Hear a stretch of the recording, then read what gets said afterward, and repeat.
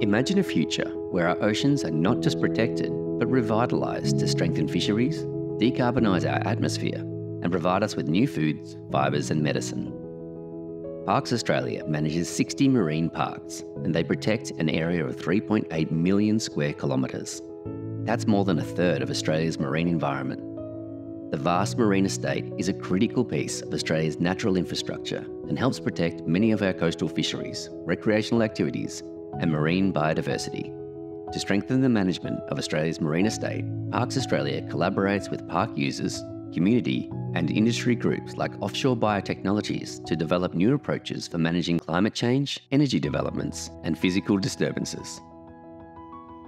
Through the Ocean Discovery and Restoration Program, Parks Australia, Offshore Biotechnologies, and partners are launching the Seabed Restoration and Enhancement Project. This project is Australia's first large scale offshore experiment to establish nature based frameworks, principles, and methods for assisting the recovery of degraded sponge communities located below 60 metres in the Apollo Marine Park.